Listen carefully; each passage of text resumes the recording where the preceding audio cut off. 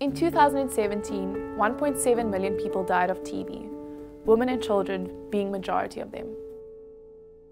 It was the 23rd of June 2015 when I was diagnosed with pulmonary tuberculosis. And just like that, my life changed.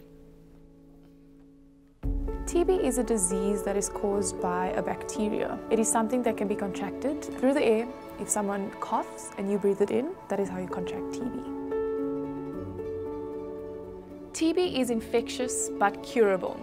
However, 1 million children fall ill with TB globally each year. And of that million, 239,000 children die every year. TB in children is often misdiagnosed and overlooked because they present differently. In sub-Saharan Africa, we actually have the highest proportion of children with TB and HIV. And this therefore presents quite a challenge in clinical diagnosis because children often present with um, non-specific clinical symptoms and imaging therefore can play a very important role in diagnosing TB because we have multiple imaging modalities to diagnose.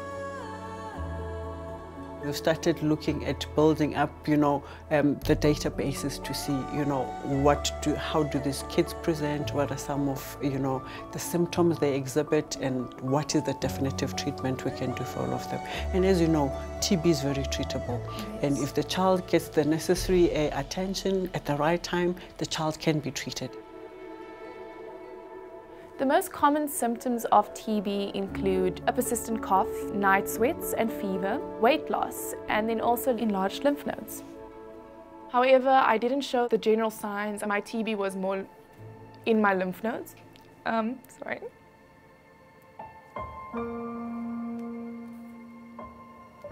I was very strong, told myself, you know, I will finish this treatment, I'll continue my studies.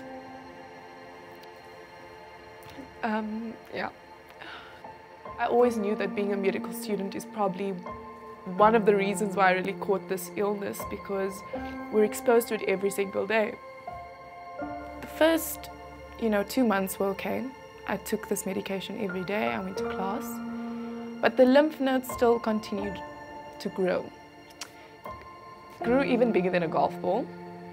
So it was very difficult to move around, very difficult to go about my day. Luckily, it was winter, so I always wore a scarf.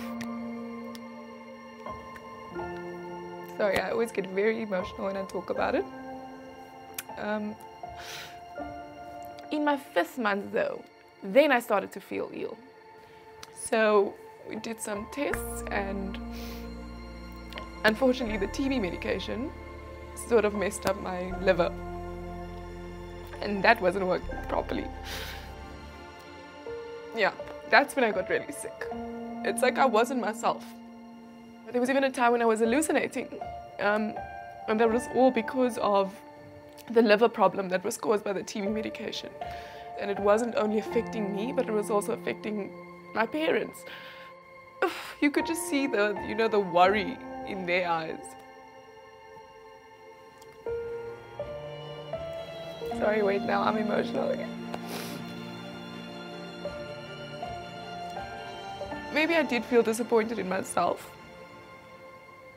Just a little bit because I wasn't strong enough to like not be ill, not be waking up at night and you know bothering my parents.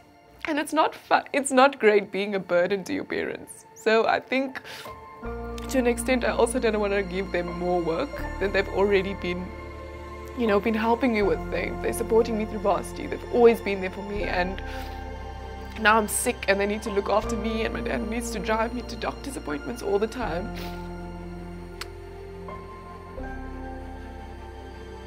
You know, I, I knew I was going to get through it because that's the type of person that I am. Um, I was never going to give up. But I think I never understood how traumatic it actually was for me because I always grew up a very strong woman, a very independent woman. And the fact that I didn't want to tell anyone, I felt like I could do this by myself. I went through this and I finished the course and today I am cured. But I think now that I am in South Africa, it's time to speak up about TB. And the fact that it's curable, but it's still killing millions of people every day, that is a problem. Today I am much happier and healthier and I feel much lighter speaking about my TB story. A big part of my story is that I felt stigmatized because I had TB. But TB does not discriminate. TB can affect anyone. I want to encourage everyone out there to be brave enough to speak up about TB and together we can stop the stigma and discrimination. You can get your free TB screening at your nearest clinic. It won't cost you a thing, but not going, it could cost you your life.